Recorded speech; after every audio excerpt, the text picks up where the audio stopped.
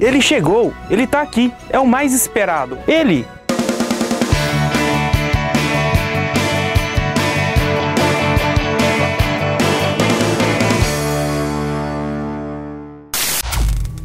Finalmente botamos a mão no tão esperado e desejado iPhone 5. Oh, cuidado com isso daí aí, ó. Logo de cara, já notamos uma pequena diferença no design em relação ao iPhone 4S. A tela ficou um pouco mais comprida, com 4 polegadas. Ele manteve as bordas arredondadas, a traseira de vidro com as bordas em alumínio. Ele pesa apenas 112 gramas e tem 7,6 milímetros de espessura. É mais leve e fino que o iPhone 4S. Mas como resistência nunca foi o forte do iPhone, é bom tomar cuidado com ele. É melhor usar capinha, película, tudo para protegê-lo. Outras mudanças que tivemos. Ele usa o chip Nano SIM. É realmente bem pequeno. Se você já possui um chip, vai precisar pedir outro para sua operadora. Ou então, arriscar cortar o seu com um adaptador desses. O conector do fone de ouvido também mudou. Agora ele fica embaixo do aparelho. Quando você está com o aparelho na mão, o fio já fica para baixo. Mas a grande mudança mesmo foi no conector de 30 pinos para o Lightning de apenas 9 pinos. O conector ficou bem menor, é verdade. Mas e aquele monte de acessórios que você já tinha? Aquela sua dock station, o som do carro, o home theater, como fica? Pois é, você vai ter que usar um adaptador. Peraí, um adaptador? Pro iPhone? Uma gambiarra? Pois é, um adaptador, uma gambiarra, uma geringonça. Que nojo. E o que mais mudou? A tela mudou. Agora ela tem 4 polegadas, com resolução de 640 por 1136 pontos. As imagens são muito nítidas. Com a proporção de 16 por 9, ficou bem melhor para ver vídeos. O vidro que protege a tela possui a tecnologia Gorilla. E o desempenho? Claro que mudou.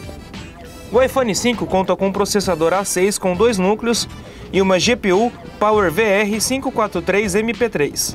O aparelho tem 1 GB de memória e, segundo a Apple, isso significa um desempenho até duas vezes maior que o iPhone 4S. Ele possui versões de 16, 32 ou 64 GB e não tem entrada para cartões. Se quiser, dá para usar o iCloud para armazenar dados na nuvem. Essa configuração permite que ele rode qualquer aplicativo atual sem problemas. Resolvemos compará-lo com o iPhone 4 e o iPhone 4S, rodando um benchmark e alguns aplicativos.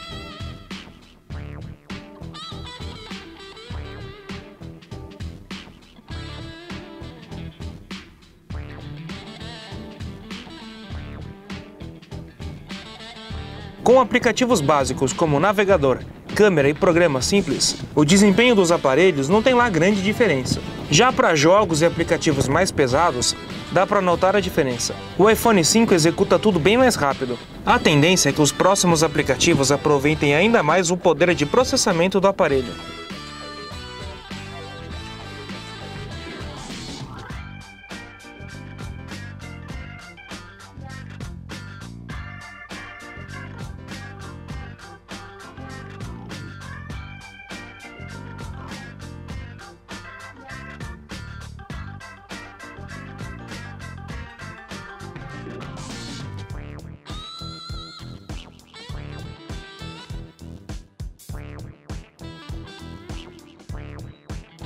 Na hora de tirar fotos, o iPhone 5 consegue captar fotos melhores em condições adversas, como baixa luminosidade.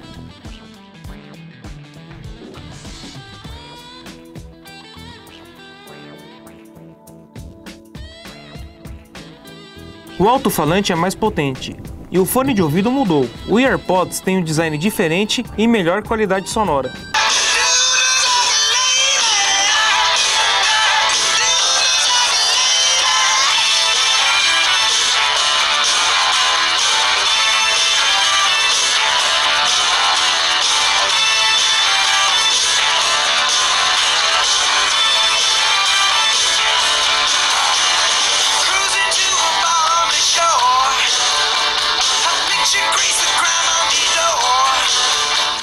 Bom, o iPhone 5 é um baita aparelho, mas ainda tem uma dúvida sobre o 4G. Será que o 4G do iPhone vai funcionar no Brasil?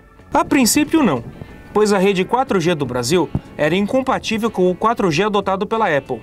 Mas com a Copa do Mundo e as Olimpíadas por aqui, o nosso governo resolveu dar uma força e alterou a frequência do 4G. E o que mais mudou? Mudou o mapa. A Apple abandonou o Google e adotou a TomTom. Nos Estados Unidos, é um dos principais mapas adotados por aparelhos de GPS. Mas no Brasil não é bem assim. Ruas erradas, rotas suspeitas e a falta de orientação não fazem do mapa do iPhone a melhor maneira de se chegar ao seu destino. Mas ainda dá para usar o Google Maps. A Siri também mudou. Ô, mas agora ela fala português, né? É, não. Ela fala alemão, chinês, coreano, espanhol, francês, inglês, italiano e japonês. Português ainda não, mas ela melhorou um pouco. Agora ela lê e-mails, atualiza o Facebook e o Twitter e até compra ingressos para o cinema. Tudo isso nos Estados Unidos. Aqui não. Post Facebook. What would you like to say? Outro recurso legal é o Não Perturbe. Com ele ativado, você só recebe ligações dos seus favoritos. Isso se a pessoa insistir. Ele também não recebe notificações, a tela não acende, tudo para você não ser perturbado. E a bateria? Bom, essa aí continua praticamente a mesma do iPhone 4S. Com 1440 mAh, ela não vai durar o dia inteiro se você utilizar todos os recursos do aparelho. Mas vem cá, se você tem um iPhone, você vai querer usar todos os recursos dele.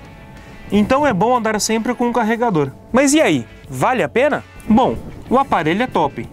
Tem recursos incríveis, assim como tem algumas falhas. Aqui no Brasil, alguns recursos interessantes não funcionam, mas ainda assim é um aparelho top. Mais informações sobre esse cara aqui você encontra no link aqui na descrição do vídeo. E você pode deixar a sua dúvida ou seu comentário aqui embaixo também. Não esqueça de se inscrever no nosso canal, de curtir o nosso vídeo. Se você quiser conversar com a gente, siga a gente no Twitter. Aqui, ó. Valeu!